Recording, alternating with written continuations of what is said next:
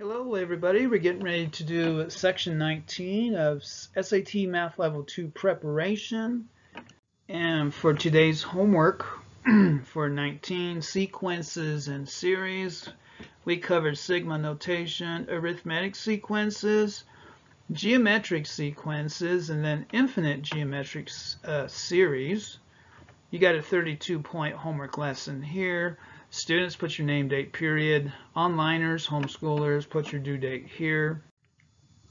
And page one of the homework. If uh, the first term of a equals 3 and a to the nth equals n plus a to the n minus 1, the sum of the first five terms is, so here's your choices, students. Six points, page one, and we have another summation here.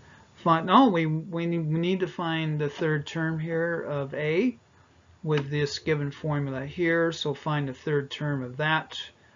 Six points here for page two. Page three, we got a repeating decimal situation uh, written as a fraction in lowest terms. The sum of the numerator and the denominator. So we only, not only have to find that, we have to find the sum of the numerator and denominator of this uh, fraction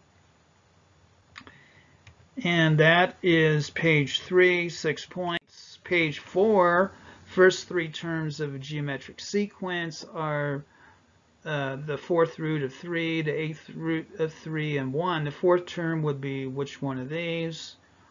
And you got six points here, page four. Page five, infinite geometric series, uh, S equals two thirds and term one equals two over seven.